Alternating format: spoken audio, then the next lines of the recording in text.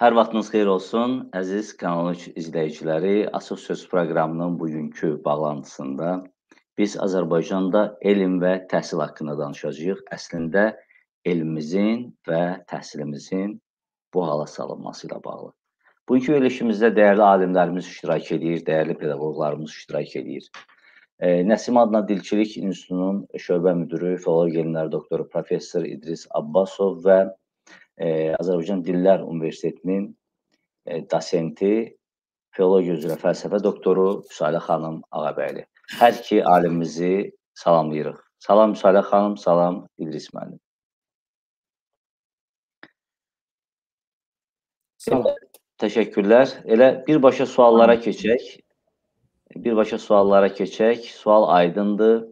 Yəni zaman-zaman İdris bəyin də, İdris müəllimin də açıqlamaları ilə tanışıq. Üsalə xanım da e, bir pedaqoq kimi, həm də bir alim kimi təhsildə və elmdəki durumla bağlı həmişə e, cəsarətli mövqe ilə seçilib və həmişə sos həyəcan siqnalı çalıblar. Hər ikinizə eyni sualla müraciət edəcəm. Elə İdris müəllim, birinci siz bu suala cavab verin, sonra təbii ki, Müsalə xanımın da əlavələri olar şübhəsiz. Niyə Azərbaycan təhsili və Azərbaycan elmi e, acınacaqlı duruma salındı? Yəni siz öz yazılar, yazılarınızda, öz e, sosial şəbəkədəki mövqelərinizdə bunlara işarə edirsiniz. Yəqin ki, izləyicilərimiz üçün də maraqlıdır. Niyə elmimiz və təhsilimiz bu şəkildədir? Buyurun, İdris bəy sizə eşidirik.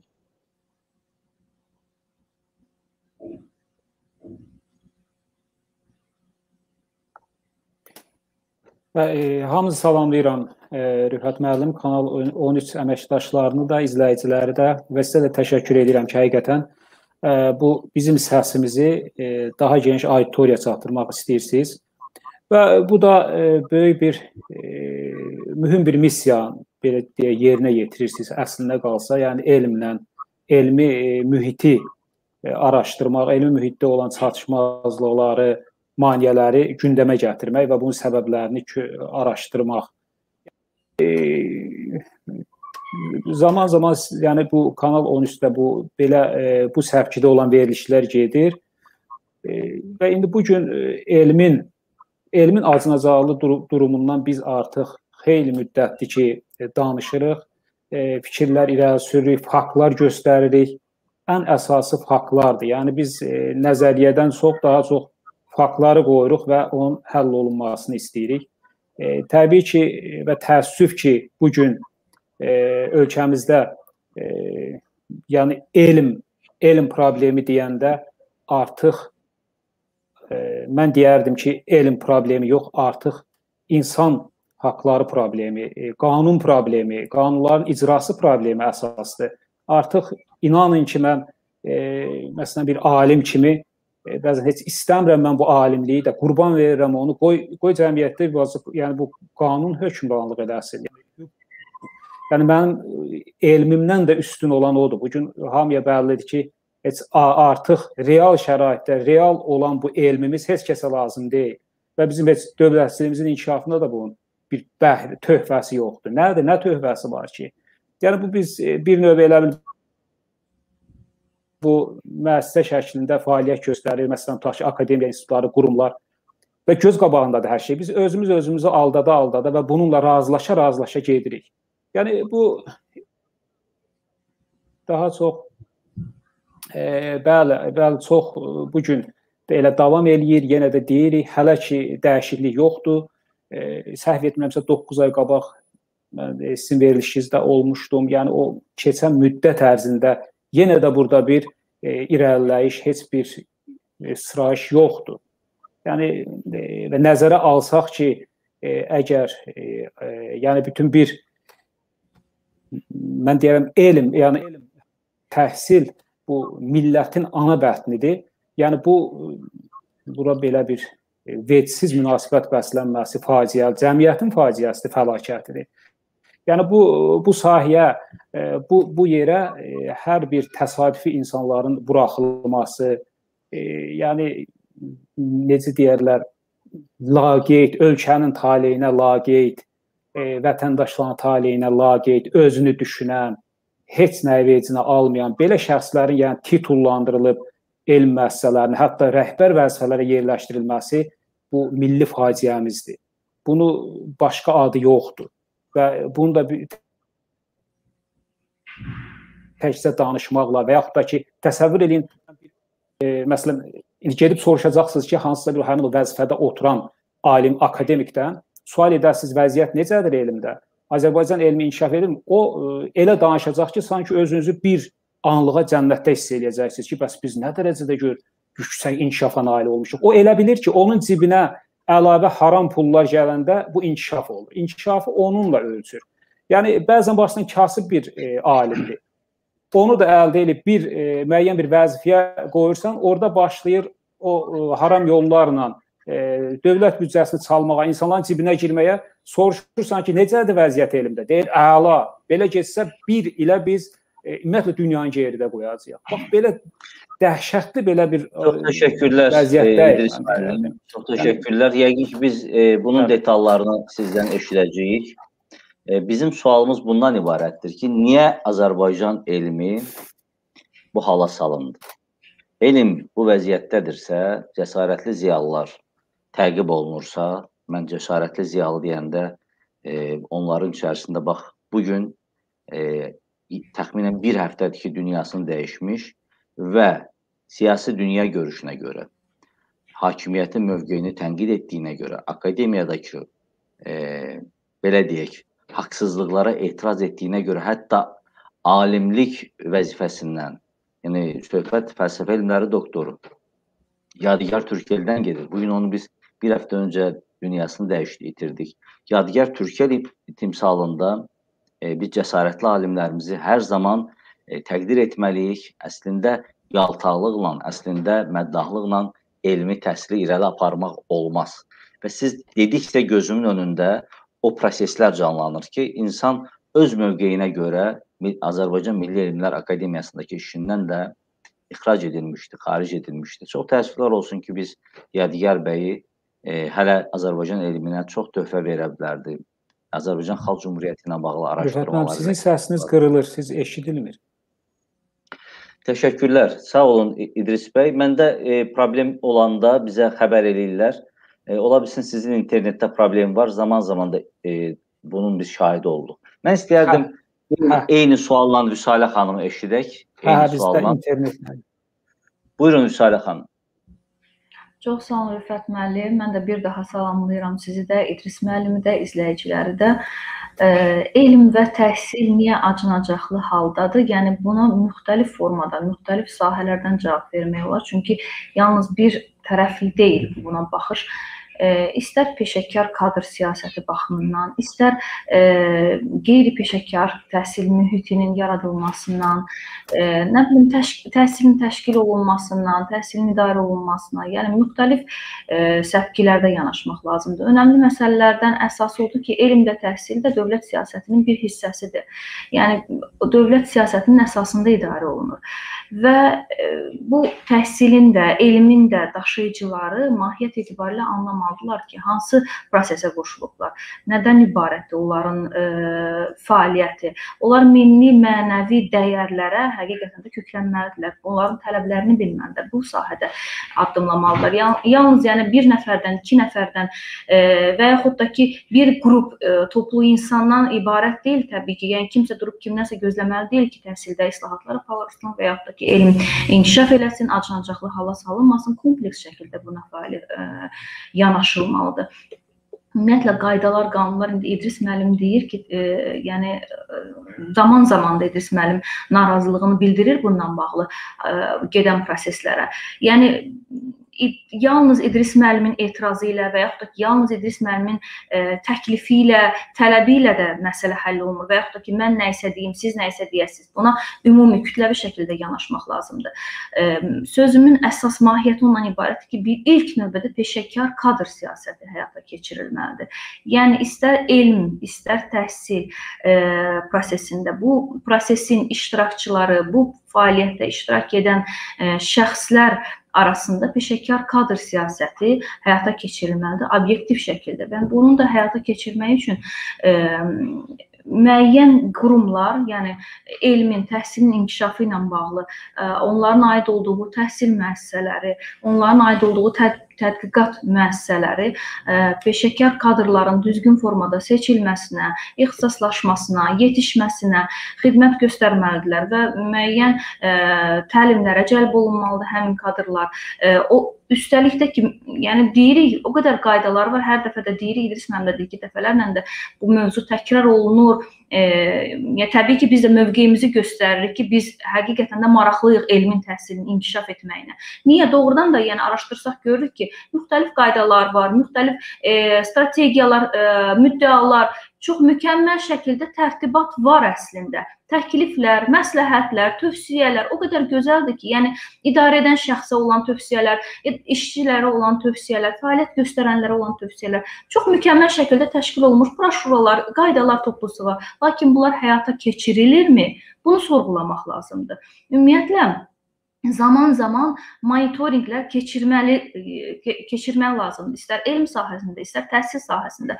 Lakin bu monitorinqlərin keçirilməsi də bilirsiniz necə qərəzli olmamalıdır. Yəni ə, e, sırf necə deyim, kimisə çıxdaş etməyə, kimisə təzyiq altına salmağa, kimisə təhqir, tənqid etməyə yönəlməməlidir. Problem varsa bu cəmiyyətdə, bu hamımızın bir problemidir. Mənim də problemimdir. Yəni tək ə, biz özümüz də bu ə, sahənin tərkib hissəsiyik. Mən də yaxamı kənara çəkib dura bilmərəm və yaxud da heç kəs yaxasını kənara çəkib dura bilmir. Yəni dediyim odur ki, sistemli şəkildə iş aparılmalıdır əslində bununla bağlı. İstər e, dissertasiya işlərinin e, yazılması ilə bağlı, istər təhsil problemlərinin, təhsil məsələlərinin e, yazılması ilə bağlı, qayda qanunların tərtibatı ilə bağlı və bunlar zaman-zaman izlənilməlidir. Monitorinqin nəticələrinə görə də ortaya çıxan e, problemli məqamlar çözülməlidir. Buna qarşı təkliflər dinlənilməlidir. Yəni ilk növbədə mənim düşündüyüm odur ki, peşəkar kadr bir də təhsil sistemində e, ilk başdan təhsilin pillələrində yaranan problemlər köklü şəkildə lap başlanğıc nöqtədən yanaşmaq lazımdır. E, yəni Fərəh xanım, üzr istəyirəm. E, İdris bəy çıxdı. E, mən istəyərdim elə bu sizin qaldırdığınız məsələləri mən istəyərəm bu gün burada da qaldıraq. Yenə təkrar edirəm. Elm və təhsili fərqli e, deməli kontekstlərdə dəyərləndirməyin tərəfdarı deyiləm. Elm və təhsil elə bir-birinə bağlıdır. Amma e, sadəcə onları idarə etməsində fərqli yanaşmalar ola bilər. Məsələn, sizin təhsilin idarə olunması və təşkili ilə bağlı, qeyri-peşəkar iş mühiti ilə bağlı zaman-zaman yanaşmalarınızı biz şahidi olmuşuq. Mən istəyərdim mövqeyinizi deyəsiz, sonra İdris müəllimlə də bağlantımız e, deməli bərpa olundu. Tə tədrisin, təhsilin təşkili və idarə olunması və qeyri-peşəkar iş mühiti. Bax, siz bununla nə demək istəyirsiniz? Nə təklif edirsiniz daha doğrusu? Hər halda e, bir e, təklifi irəli sürəndə onun konturlarını da tutaq ki, hökumətə siz təklif edirsinizsə, konturlarını da deyə bilərsiniz. Mən istərdim elə bizim e, efir mə məkanımızdan istifadə edərək təhsilin təşkilində və idarə olunmasında və qeyri-peşəkar iş mühitinin aradan qaldırılmasında bir alim kimi Vüsalə Ağabəyli, bir pedaqoq kimi Vüsalə Ağabəyli nəyi təklif edir? Mən Təhsilin idarə olunması ilə bağlı, yəni onu əsas nəzərdə tuturam ki, əmrlər, göstərişlər, sərəncamlar önəmli deyil, əgər onlar icra olunmursa. İstər müəssisə daxilində, istər kiçik ə, təhsil müəssisələrində, yəni fərq etməz, hər hansı bir sahədə olur olsun. Doğrudan da gözəl tərtibatımız var. Çox gözəl kitablarımız var. Tərtibat gözəldir. Lakin fəaliyyət Əsas məsələ fəaliyyətdir. İdarə edilmə və təşkilat. Və bunda da doğrudan da iştirakçılar və rəhbər arasında qarşılıqlı mütəşəkkil mühit formalaşdırılmalıdır. Yəni təhsilin idarə olunmasında bütün iştirakçılar öz işləri üçün məsuliyyəti dərk etməlidirlər və bu məsuliyyətin də formalaşdırılması üçün müəyyən məqamlar gözlənilməlidir verməlidir. İşçilər rəhbərə, rəhbərlər özlərindən daha böyüklərə hesabat verməlidirlər ki, qarşıya hansı plan qoyulmuşdu, hansı proqram var idi və bu proqram üzrə nələr yerinə yetirildi, nələr yerinə yetirilmədi, hansı problemlərlə üzləşdik və bu problemlərin həlli baxımından nələr etdik ümumi e, yəni göstəriş xətrinə formal xarakter daşıyan protokollardan, formal xarakter daşıyan broşuralardan, e, kitablar toplusundan kənarda durmalıyıq. Yəni bu, bu kitabları biz hara tətbiq eləyəcəyik? Əgər e, əməli fəaliyyətimizdə bu onu göstərmirsə və işçilərin fəaliyyəti üçün sağlam psixoloji mühit olmalıdır.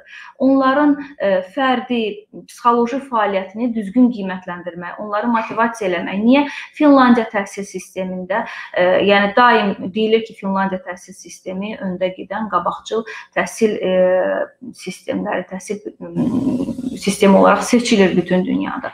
Çünki burada ilkin olaraq peşəkar kadrlar fəaliyyət göstərir, seçilmiş kadrlardır və əmək e, yəni onların əmək haqqları, maaşları kifayət qədər onları təmin edir. Onların motivasiyası var e, şagirdlərlə, tələbələrlə işləməyə. O cümlədən də, yəni məsələn təhsil sahəsində əgər desək ki, bu dəqiqə Azərbaycanda olan e, təhsil sisteminin problemlərini lap aşağı mərhələlərdən başlasaq, elə götürək birinci sinifə qəbul pilləsini bu dəqiqə ölkədə birinci sinifə qəbul sanki universitetə qəbul kimi gərgin, e, psixoloji təzyiq altında təşkil olunur. Niyə? Yəni bunun nə əsası var ki, hər tərəfdə baskı, hər tərəfdə təzyiq, hər tərəfdə sıxışdırılma, çətinlik, 5-6 yaşlı uşağın məktəbə e, addımlaması üçün bu qədər psixoloji təzyiqə nə gərək var ki? Bütün bu problemlər hamısı ilkin başlanğıcdan idarə olunmalıdır ta yuxarı mərhələlərə qədər. Çox təşəkkürlər Vüsalə xanım. E, mən istəyərdim ki, növbəti sualımızda orta və ali təhsil pilləsindəki problemləri biraz da detallı şəkildə sizdən eşidək. İdris müəllimə soruşmaq istəyirəm ki, e, cənab professor, e, Azərbaycan elmində yəni Azərbaycandakı idarə etmədən doğan, e, yanlış idarə etmədən doğan bir sindrom var. Yəni elə həmin sindrom Azərbaycan elminin azacaqlı mənzərəsini şərtləndirən amillərdən biridir. Söhbət qrant layihələrindən gedir. Söhbət elmə ayrılan pulların mənimsənilməsindən gedir. Bayaqlarda siz qeyd etdiniz ki, e, mən faktlarla danışıram. Elə isə mənim üçün çox maraqlıdır. Siz zaman-zaman bu məsələləri qaldırdığınıza görə istəyirəm açıq söz izləyicilərinə də, Kanal 13 izləyicilərinə də bu haqda e, həm məlumat verəsiniz, həm də bunun köklərini sizdən eşidək. Bax, qrant layihələrinə ayrılan pulların xərclənməsi mexanizmi necədir? Hansı prinsip və meyarlar əsas götürülür? Bax, bu işləri nəzarət necə həyata keçirilir? Bax, söhbət e, Əlbəttə ki, Azərbaycan Milli Elmlər Akademiyası sistemindən gedir. Buyurun, e, İdris müəllim, eşidirik siz.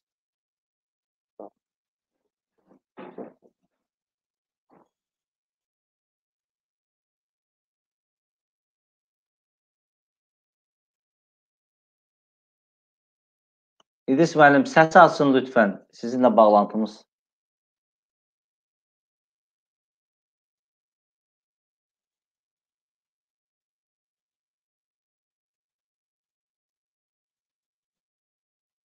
İdris müəllim, səs yoxdur sizdə.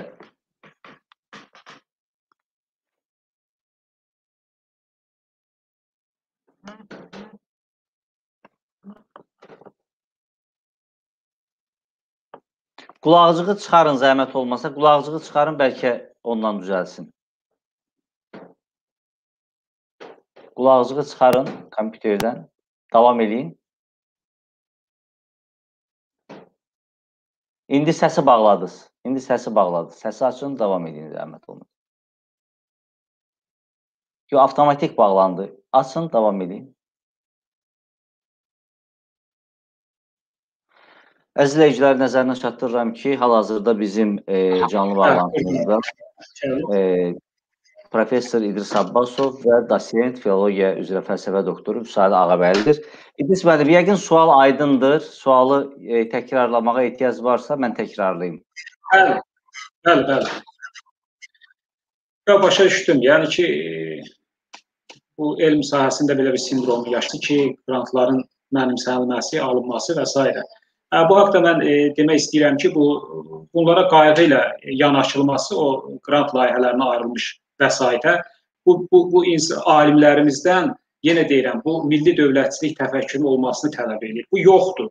Onlar e, sanki e, bu dövlətin yəni sütunlarını dağıtmağı qarşılarına məqsəd qoyurlar. Ona görə belə addım atırlar. Yəni bunlara dur deyən yoxdur. Bu bir şəbəkələşmiş dəstə halındadır bunlar. Artıq təsəvvür edin, sizin özünüz də mətbuatda oxuyardınız ki, e, təkcə bir institutda 50 milyona yaxın qrant mənimsənilməsi olmuşdu. Və e, bizim instituta gəlincə bizdə də yəni zaman-zaman e, ayrılan qrantlar e, öz aidiyyəti üzrə xərclənməmişdi və eyni zamanda mən dəfələrlə vurğulamışam. Azərbaycan Respublikası prezidentinin e, e, dilçiliyin inkişafı üçün ayırdığı 2 milyon manat vəsait e, göyə sorulmuşdu. Onun e, nəticələri barəsində e, heç bir e, yəni soru-sual olunmur.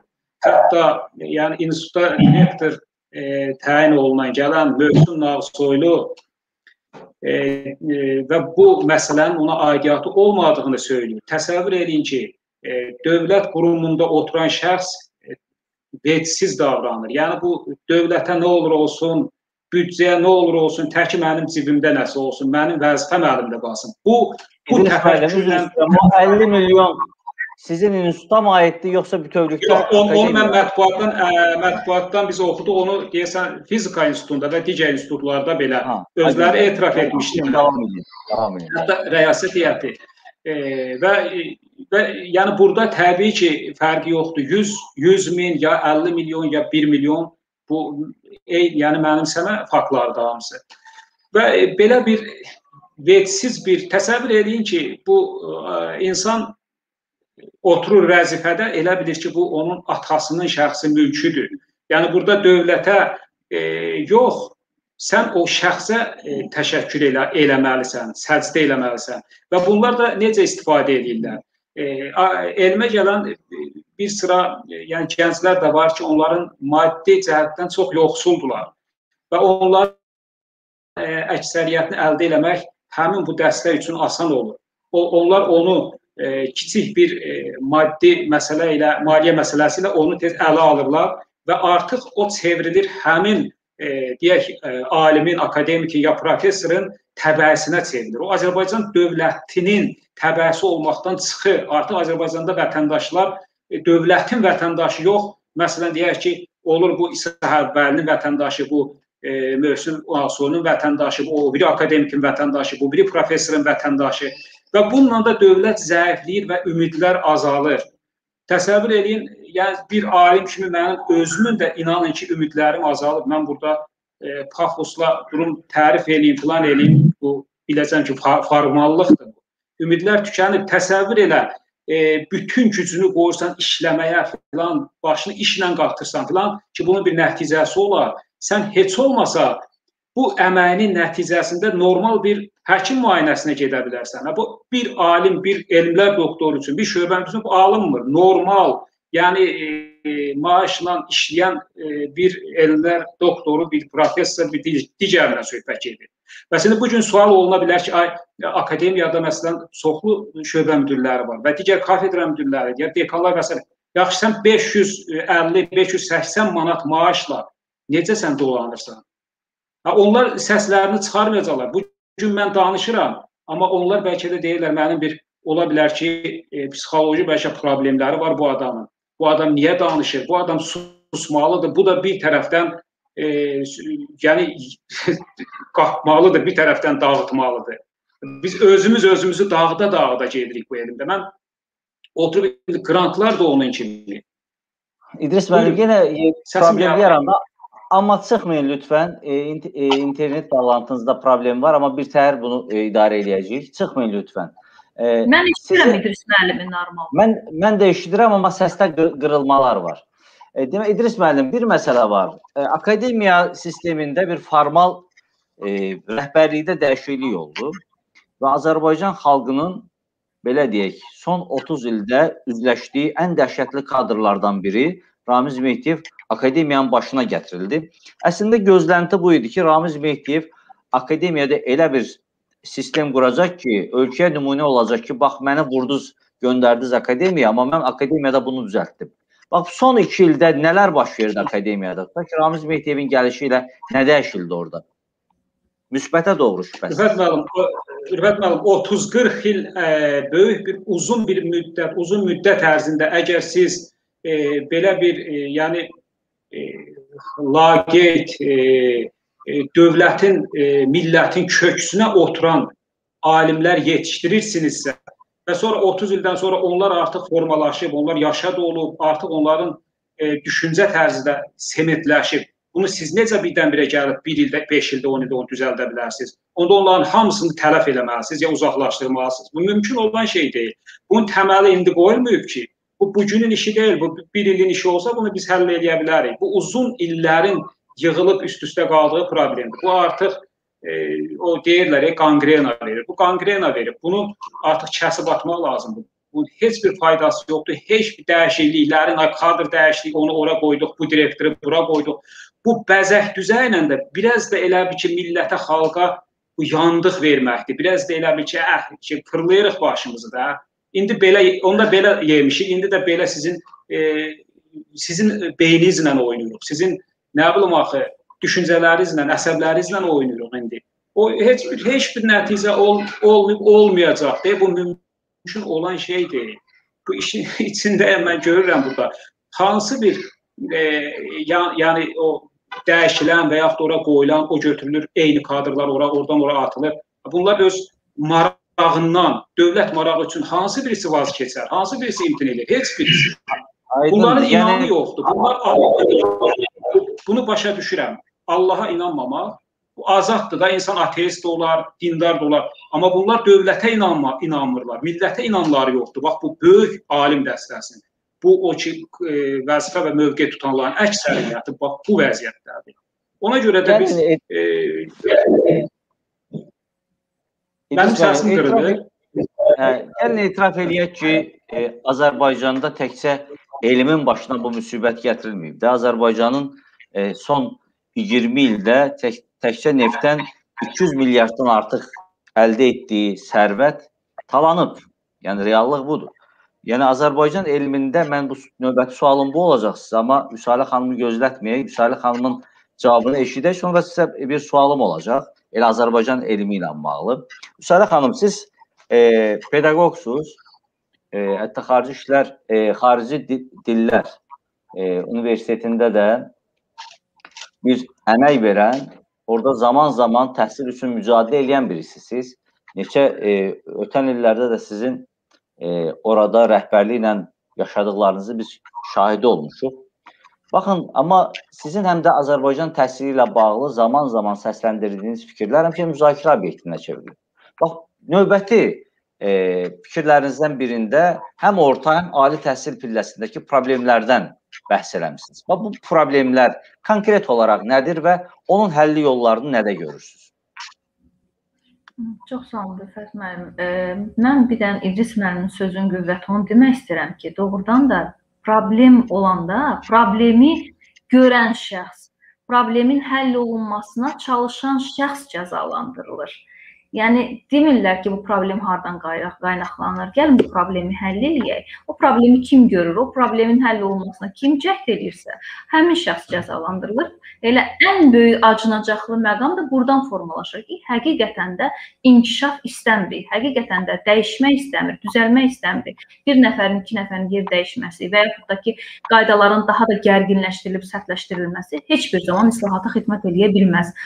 Mən orta və ali təhsil müəssisələrindən e, problemlə bağlı onu demək istəyirəm ki, birini qeyd elədim ki, birinci siniflərin qəbulu, orta məktəblərə qəbulu, yəni gərginlik, e, psixoloji təsir və daha sonra bütün 11 illik təhsil boyunca mütləq şəkildə təhsil təmin edə bilmir. Yəni şagird məktəbdən, orta məktəbdən lazım olan informasiyanı ala bilmir. Çünki informasiya həqiqətən də lazımsız informasiya, lazımsız məlumat çoxdur təhsil proqram, proqramları yenilənməlidir. Yəni əgər bu şagird birinci sinifə qəbul zamanı öyrəndiyi e, zorla əzbər şəkildə öyrəndiyi hər hansı bir məlumatı 10-cu 11-ci sinifdə unudacaqsa, deməli ki, bu faydasızdır, heç bir mənası yoxdur bu formada təşkil olunmağının. Və bu 11 illik e, təhsili boyu, orta məktəb təhsili boyu mütləq şəkildə müəllim tələbə və valideyn üçlüyü birləşməlidir hal-hazırda. Əgər valideyn savadsızdırsa, deməli yenə təhsil axsayır. Əgər valideyn işləyirsə, çatdırmırsa, yenə təhsil axsayır. Amma bu isə düzgün ə, məsələ deyil axı. Bəlkə şagirdin özünün qabiliyyətini niyə məktəb üzə çıxarmır? Niyə məktəb onu təkmilləşdirə bilmir? Çünki proqram düzgün şəkildə təşkil olunmayıb. Dərslər və informasiya yetəri qədər tənzimlənmir bir-biri ilə. Və mütləq şəkildə əlavə dərsə, repetitor fəaliyyətinə ehtiyac duyulur. Mən yəni repetitor fəaliyyətinin təşkil olunmasına qarşı deyiləm əslində. Düzdür, geridə qalan ə, şagirdlər olur, hamının ə, hamının təfəkkürü eyni formada inkişaf eləmir təbii ki. Mütləq şəkildə ehtiyac olur əlavə dəstəyə.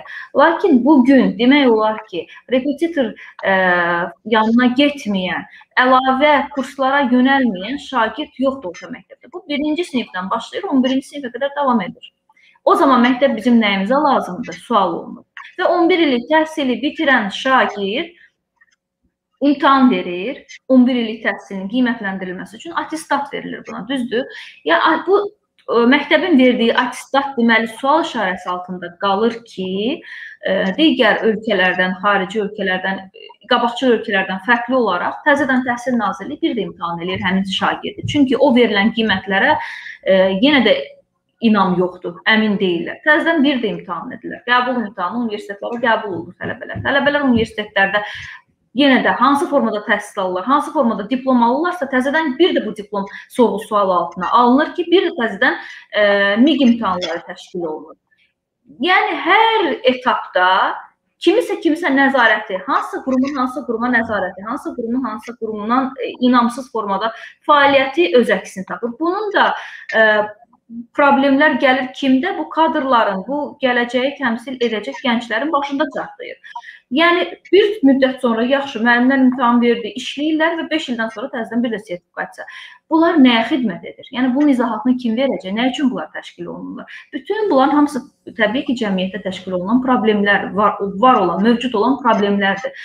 Və yandırıcı e, əzab verici məsələ odur ki, problemlərin həll olunmağına doğrudan da çalışmırlar. Ümumən mənzərə yaradılır ki, hər şey gözəldir, hər şey əladır.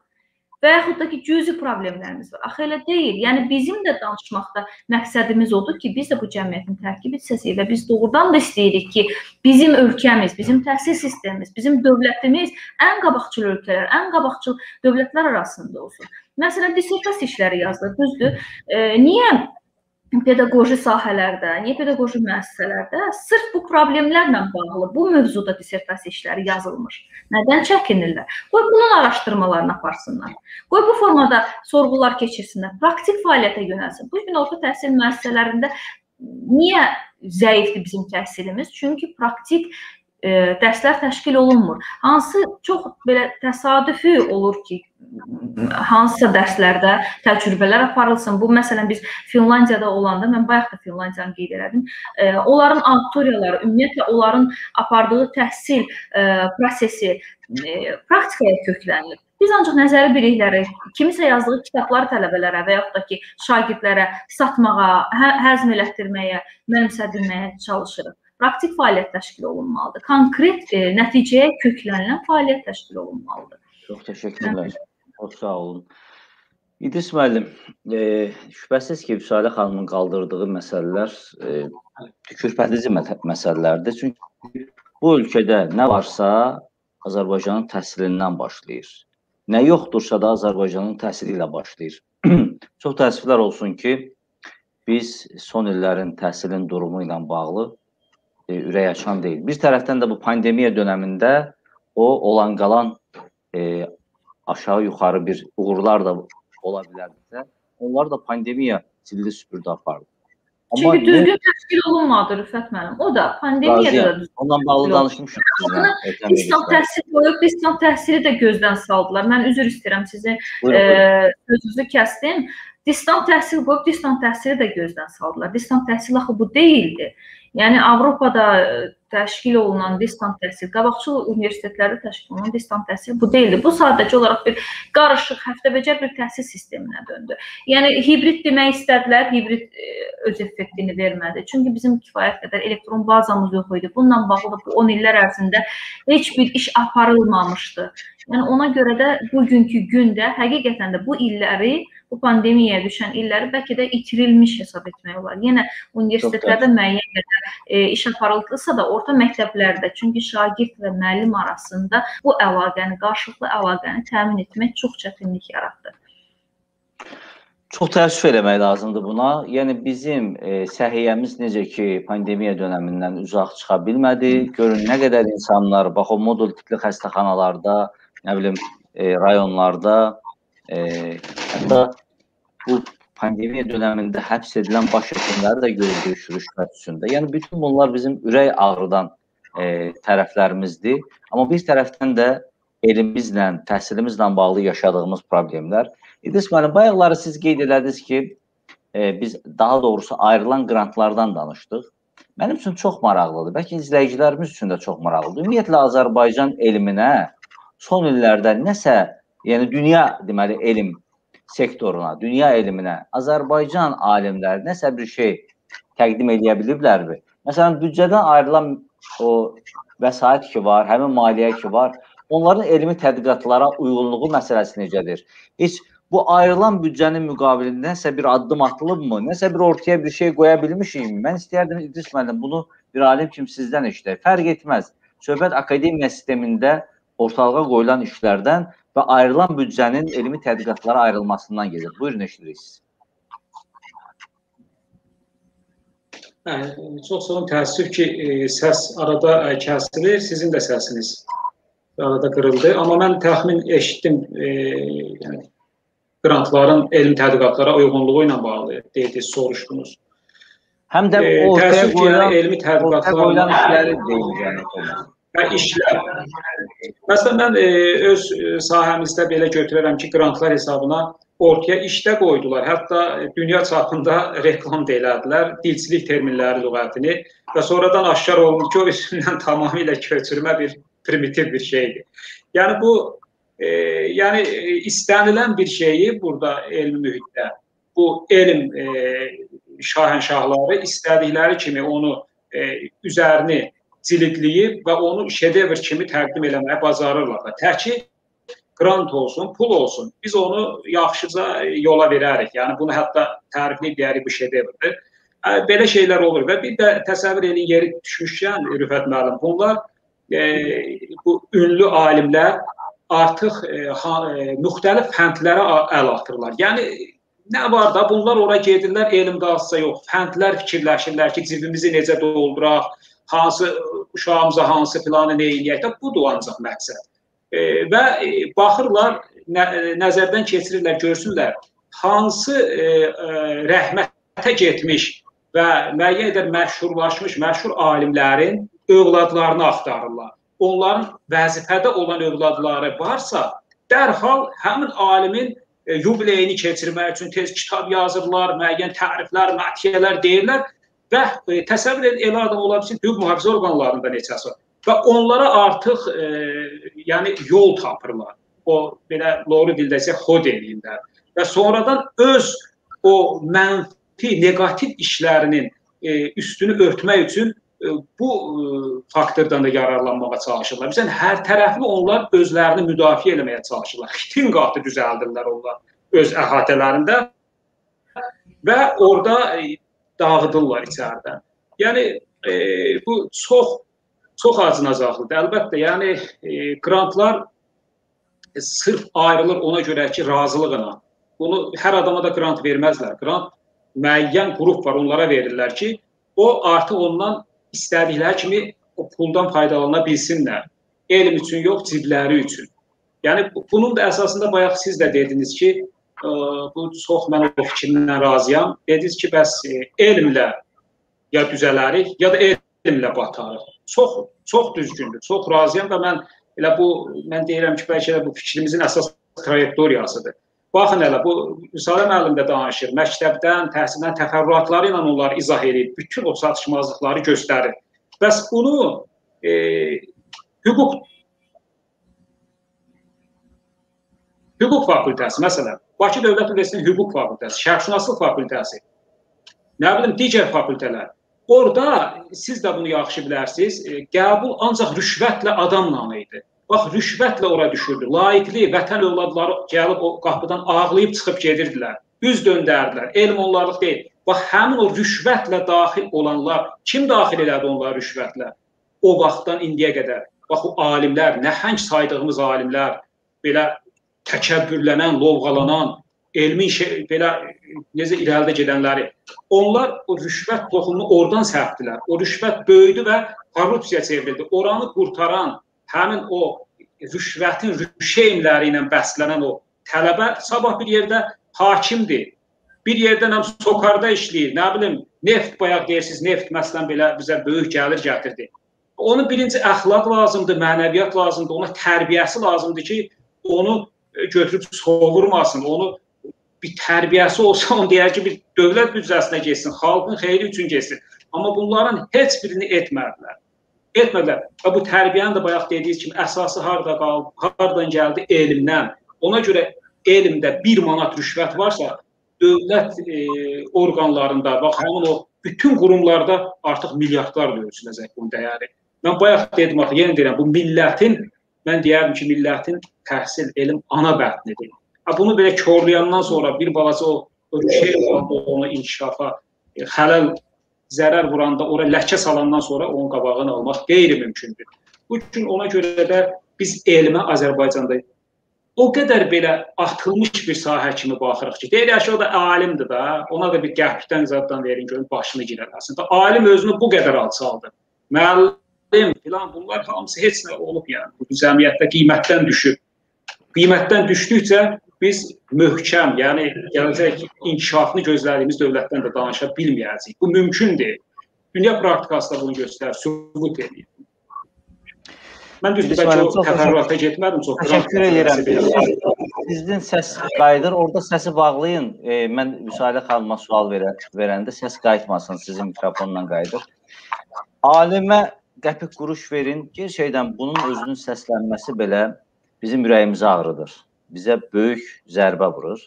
E, İslam peyğəmbərinin məşhur bir hədisi var. Sual verirlər ki, ən böyük faciə nədir? Deyir, ölə. Deyirlər ki, ondan böyük faciə varmı? Deyir ki, onun yerini nadanlar tutar. Və ondan da böyük faciə varmı deyəndə deyir ki, gələcək nəsillər həmin nadanlara inana. Yəni bizim bugünkü durumumuzu İslam peyğəmbəri e, Məhəmməd əleyhissalamın e, həmin o hədisi ilə bəlkə də paralel aparmaq olar ki, bax bu gün həmin o rüşvətlə, həmin o Azərbaycan elminə son 50 ildə xüsusilə mən qeyd etmək istəyirəm, təhsilinə, elminə rüşvəti gətirən o şəxslər və e, bu gün də həmin tendensiya davam edir. 1992-ci ildə ilk testlə qəbul olunan, bax dediyiniz o hüquq fakültəsinə bir də mən olmuşam. Amma niyə o sistemdə çalışmamışam? Bax o rüşvətdən qaçdığımıza görə. Bax bu gün də həmin təhsil sistemində təəssüflər olsun ki, test var, e, amma rüşvətlə imtahanlar davam edir. Gənclər qaçır, e, qaçır yenə təhsildən. Niyə? Çünki bilirlər o 70-80-ci illərdə kimi yenə də müəllimlərə pul verəcəklər. Müəllimlərin də maaşı aşağıdır, məcburdular onu eləməyə.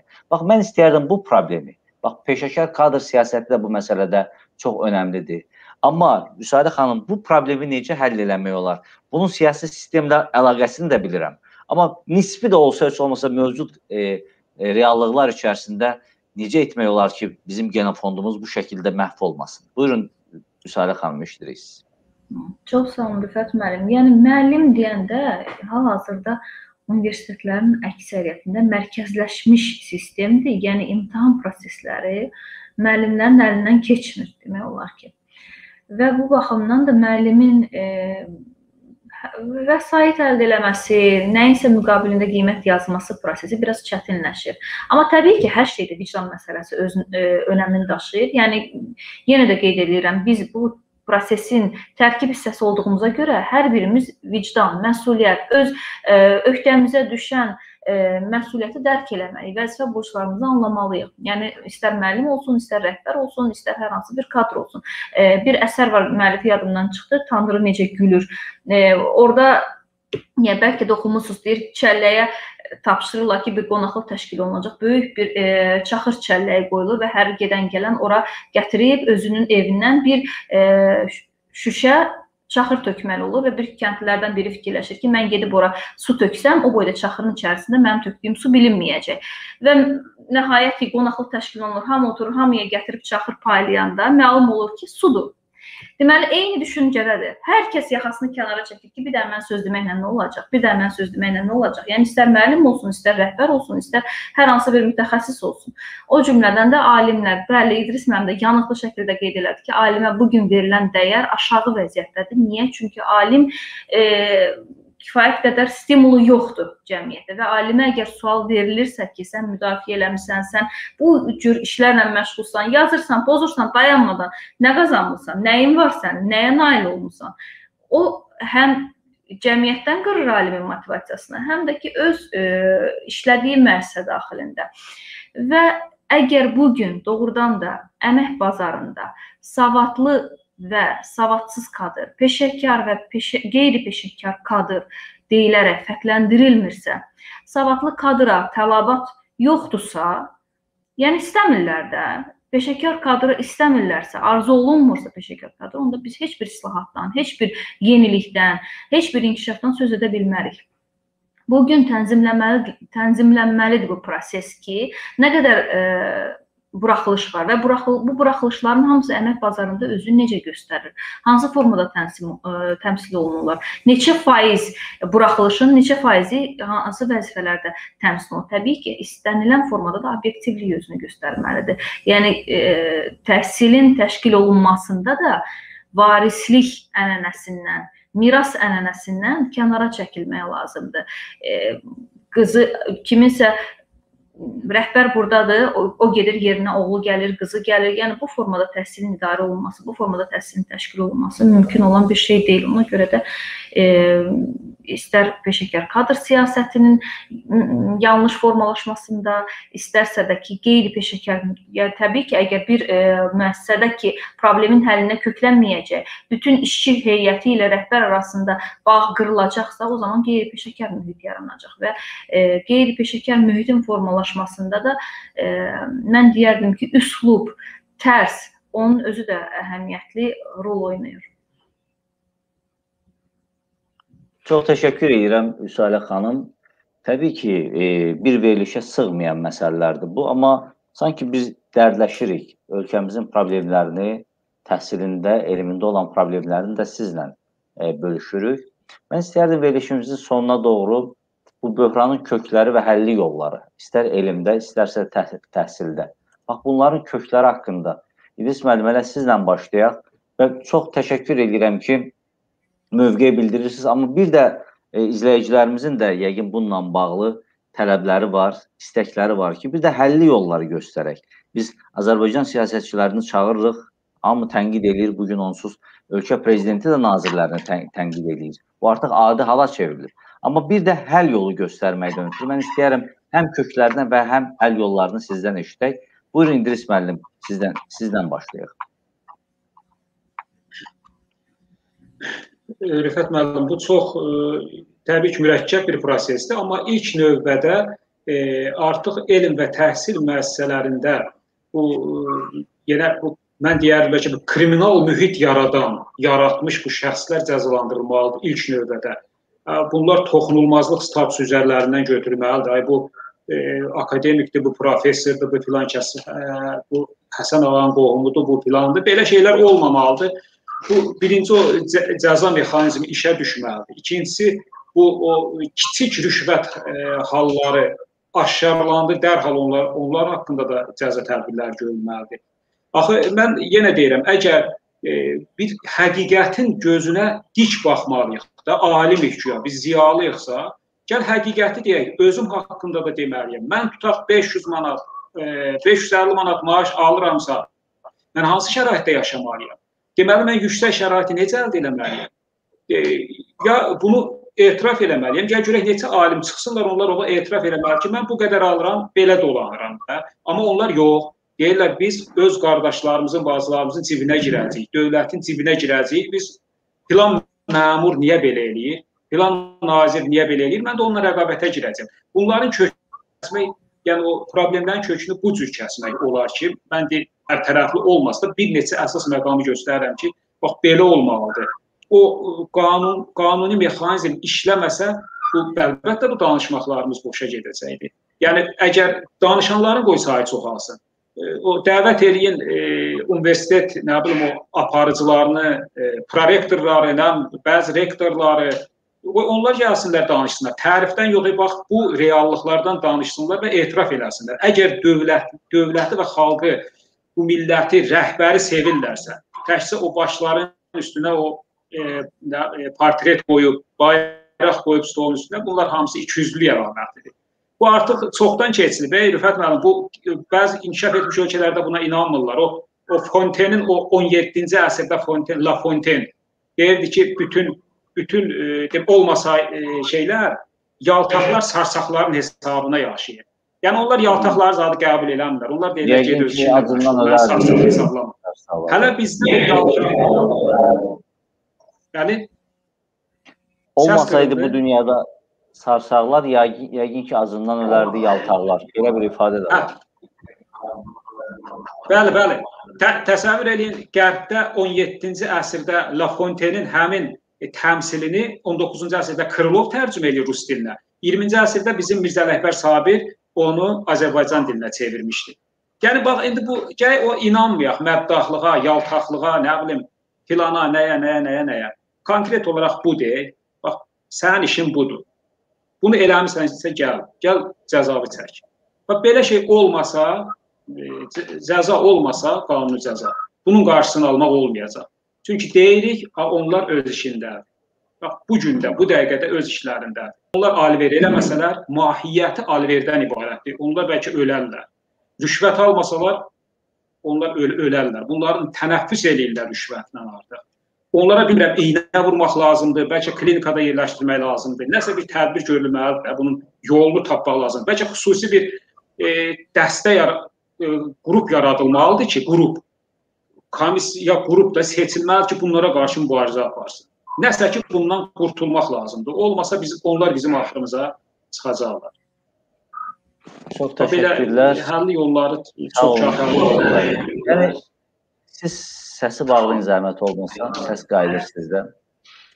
Deməli, e, İdris müəllimin dediklərindən belə e, yola çıxmaq olar ki, belə anlamaq olar ki, nə qədər ki Azərbaycan elmində, təhsilində rüşvət var, bu problem davam edəcək. Çünki e, 500 manatla alim yaşaya bilmir. Doğrudur. 500 manat e, hazırki şərtlərdə olduqca aşağıdır, amma 300 manatla yaşayan müəllim də var. Mən istəyərdim Vüsalə xanımdan həm bu sualı soruşam, həm də əmək bazarı ilə bağlı Vüsalə xanımın son zamanlar səsləndirdiyi fikirlər var idi. E, ona da istəyərdim ki, Vüsalə xanım verilişimizin sonunda fikir bildirsin və gerçəkdən 500 manatla alim, 300 manatla müəllim necə yaşamalıdır və yaşaya bilərmi bu suala da bir e, müəllimin, bir pedaqoqun, bir alimin fikrini eşidək. Buyurun Vüsalə xanım söz sizindir. Çox sağ olun Rüfət müəllim. İdris müəllimin sözünün qüvvəti doğrudan da cəzalar tətbiq olunmalıdır günahkarlara. Lakin cəzaların özünün də tətbiq olunması obyektiv aparılmalıdır. Obyektiv şəkildə, ədalətli şəkildə. Cəzalar adətən kimə verilir? Cəzalar adətən e, yəni düzgün lazım olmayan şəxslərə cəza verilir və doğrudan da cəza cəza kəsiləsi e, şəxslər qalır kənarda. O mühiti yaradırlar. O mühit elə formada təşkil edirlər ki, e, problemi görən şəxs, problemin həll olunmasına çalışan şəxs cəzalandırılır. Problemi yaradan şəxs cəzalandırılmır. Yəni cəzanın da verilməsində obyektivlik gözlənilməlidir. Mən tam razıyam. Bəli, problemi yaradan şəxs cəzalandırılmalıdır konkret şəkildə. E, və bu ümumiyyətlə, yəni əmək bazarını mən bayaq da qeyd elədim ki, əgər əmək bazarında peşəkar və qeyri-peşəkar kadr fərqləndirilmirsə, peşəkar kadra tələbat hiss olunmursa, o zaman kim təhsil almaq istəyəcək? Kim elmin arxasıca getmək istəyəcək? Bilir ki, çünki mənası yoxdur. Əgər kimsə hansı yollarla gəlib rəhbər vəzifədə otura bilirsə, kimsə hansı yollarla gəlib müdafiə edə bilirsə və bu yol daha asan hesab eləyirsə bunlar da cəmiyyətdə bu gün çoxluq təşkil eləyirsə, o zaman e, savadın dalıcada, elmin dalıcada, normal sağlam təhsilin dalıcada heç kəs düşmək istəmir. Çox az adam düşür. O adamlar düşür ki, onun şəxsi, daxili marağı var. Hobbi olaraq seçiblər artıq bu yolu. Yalnız bunlar düşür. Onlar dedi mənim qeyd elədiyi kimi təmin oluna bilmirlər. Bunlar artıq yəni bizim e, öz aramızda buna az təminatlı ziyalılar deyirik. Az təminatlı ziyalılar da artıq bir qrup, cəmiyyətin bir qrupu hesab olunur. Necə ki, az təminatlı, e, sosial təminatlı ailələr kimi onlara dövlət yardım göstərir. Bu az təminatlı ziyalılar da artıq demək olar ki, formalaşıb. Və bu problemlərin aradan qaldırılması üçün əslində təhsildə menecmentlik metodologiyası üzrə tədqiqat aparılmalıdır və doğrudan da hesabat verilməlidir ki, nələr edildi, hansı fəaliyyətlər icra olundu, sorğular keçirildi, problemlərimiz bunlar idi və nələr yerinə yetirildi. Və yaxud da ki, təhsildə demokratik idarə etmə üsulları tətbiq olunmalıdır. E, Nəzarət bayaq da mən qeyd elədim. Yəni nəzarət o demək deyil ki, kimsə kiməsə nəzarət eləsin. Keyfiyyətə nəzarət eləmək yox, keyfiyyəti təmin eləmək lazımdır. Nəzarət edib və yaxud da ki, ortaya çıxan məsələlərdə kimisə təhqir eləmək, kimisə e, lağ hədəfinə çevirmək, kimisə çıxdaş eləmək, təzyiq altına salmaq əvəzinə onu da çəkib cəmiyyətə qazandırmaq lazımdır. Təkmilləşmə kurslarına yönəltmək lazımdır. Müəllimlərdən söhbət gedir. Bəzən e, imtahanlar təşkil olunur. Müəllim e, hansısa orta məktəb e, orta məktəblərdə, orta təhsil müəssisələrində müəllimlər aşağı bal toplayırsa təqibə məruz qalırlar. Yəni bunun özü də düzgün deyil kimisə cəmiyyətdən, təhsildən ə, çıxdaş edib kənara atmaq da düzgün deyil. Və ə, əsas məsələlərdən biri də odur ki, təhsildə varislik məsələsinə son qoyulmalıdır. Yəni mənim düşündüyüm nüanslar bunlardır. Qeyri-peşəkar və peşəkar iş mühiti arasında fərqlərin aradan qaldırılması, təşkilin düzgün şəkildə idarə olunması və təşkili ümumiyyətlə pedaqoji kadrların e, yetişdirilməsi üçün xidmət göstərilməlidir və yəni müəyyən e, kurslara göndəriləndə də bunun özündə də obyektivlik gözlənilməlidir ki, kimlər seçilir, kimlər göndərilir hansı kurslara və onlar qaydandan sonra nəyi harda təşkil edəcəklər, hansı formada tətbiq edəcəklər. E, yəni istənilən tərəfdən baxsaq, obyektivlik və ədalət prinsipi e, özünü göstərməlidir. Çox təşəkkür edirəm dəyərli alimlərimizə, həm Vüsalə xanım sizə, həm İdris müəlliməm. E, bizim elə bir zamana gəlib çatdıq ki, cəsarətli alim anlayışı e, cəsarətli alim, alim anlayışı çox nadir hallarda rastımıza çıxdı. Yəni anlayış var, amma o reallıqlar yoxdur. İdris müəllim, nəsə demək istəyirsiniz sən ki? Mən nəsə e, Vüsal xanım danışanda nəsə yadıma düşdü. E, bilirsiniz, bu e, ali məktəblərdə əvvəlcə müəllimlər e, oxumayan tələbəni sevirdilər. Oxumayan tələbə onlara sərf edirdi. Mən bunun şahidi olmuşam da. Mən də İmen Bakı məhz Bakı Dövlət Universitetində təsəvvür eləyin onları himayə edirdilər və onlar hər semestrdə onlara pul verirdi imtahan üçün və onlar daxil olanda da filan qədər pul vermişdilər. Amma tutaq ki, bir özü daxil olanları gözüm çıxdıya salırdılar. Xoşları gəlmirdi da belə bunlar uzaqlaşdılar. Bunlar mühti deyillər, bizə tabe oldular. Bax bu ənənə, bu mühtəci ənənə bu gün elm müəssisəsində çox gözəl belə akademik səviyyədə davam etdirilir. Ən e, deyək ki, elmə həvəssiz, sadəcə diplom istəyən, fəlsəfə doktoru olmaq istəyən, dosent olmaq istəyən onları cəlb eləyirlər, sevə-sevə onları bəsləyirlər və onların puluna işlərini görürlər və diplomunu da verirlər. Bütün mərhələlərdə onun diplom məsələsini həll edirlər və sevgi obyekti artıq savadsızlıq olur yəni bunlar üçün. Özləri də savadsız auditoriya. Bəli, bəli, missiyaları budur. Mən bu gün bu səs çox qırıldı mənim internetim. Bu belə olur Rüfət müəllim. Ondan sonra bir-birinə yəni nə bilim özləri də savadsızlaşırlar. Niyə? Məsələn, gəlin gedək bir 60-70 yaşlı professor, akademik filan heç bir əmək qabiliyyəti yoxdur. Gözətçi də işləyə bilməz. Gözətçi yox, bəlkə işləyə bilər. Amma mən bir dənə də təklif eləyərdim ki, əslində gəlib e, ümumi tibbi komissiya təşkil olunsun.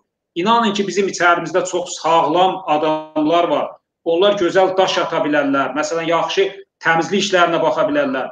Ha, oradan sonraki onsuz da elmə bir şey verilmi? Verilmir. Və getsinlər o təmizlik işlə məşğul olsunlar, qəşəng ev tikmək olar, inşaat işlərinə məşğul olmaq olar. Vallahi elə qəşəng bayevoylar var ki, üzr istəyirəm bu rusca işlətdim, bayevoy deyirlər, nə belə gümrahlar. Qəşəng işləyərlər. Yəni bunları cəlb eləmək lazımdır əməyə. Sonra buna 500-ün üstünə bir 500 də qoyub 1000 manat vermək lazımdır ki, əhsən ged işlə. Çünki bunu düz düzəlməyəcək. Bu təzədən durub elmə həvəs yaratmayacaq. Bu bir yolunu tapmaq lazımdır. Odur, şəhərin küçələri bəzən zibillənir. Bunları təmizləmək lazımdır.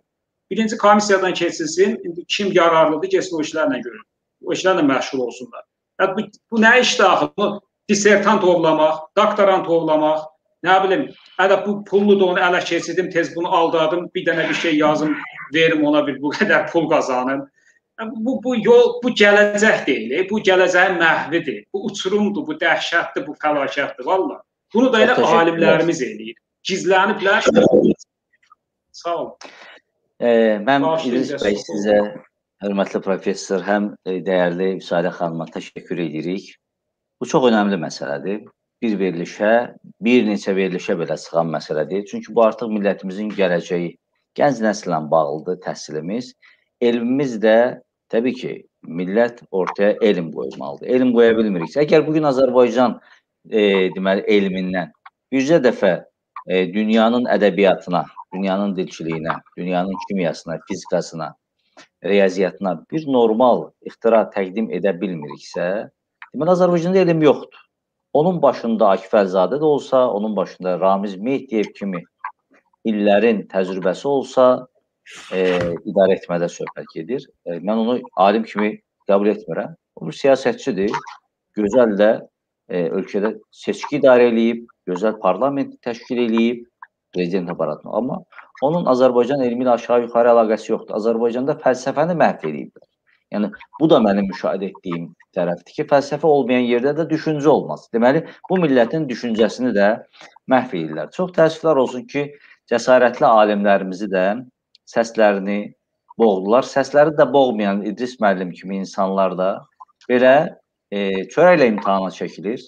Dilavər müəllim kimi adam e, əzimli, Allah rəhmət eləsin. O da koronavirusdan dünyasını dəyişdi. Ötən il martın e, ikisində özü də elə bir şəkildə dünyadan dəyişdi ki, o Azərbaycan səhiyyəsinin də elminin də üz qarası idi o, o vəziyyət.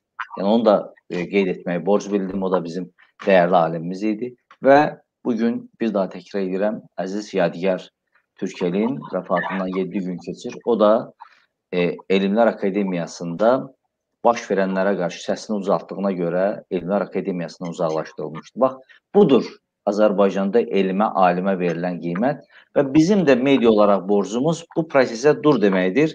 Elə dəyərli ziyalılarımız, dəyərli aydınlarımız Salə xanım və İdris müəllimlə də bu haqda danışdıq və elmimizin, təhsilimizin problemlərini izləyicilərimizə çatdırdıq.